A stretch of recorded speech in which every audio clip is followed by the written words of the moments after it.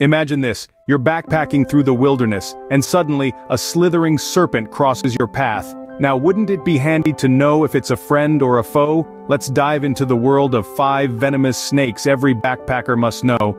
First up, the infamous king cobra. With enough venom to take down an elephant, it's a snake you don't want to mess with. Next the eastern brown snake. Responsible for more deaths in Australia than any other snake, it's one fast and furious reptile. Third, the rattling terror, the eastern diamondback rattlesnake. It's got the highest venom yield of any rattlesnake species. Fourth on our list, the death adder. Its name says it all. It's got one of the fastest strikes in the snake kingdom. Finally, the black mamba. Known for its speed and highly potent venom, it's a snake to respect from a distance. Remember, knowledge is power. Stay safe, stay informed. If you enjoyed this quick yet thrilling rundown, hit that subscribe button for more. Until next time, happy trails.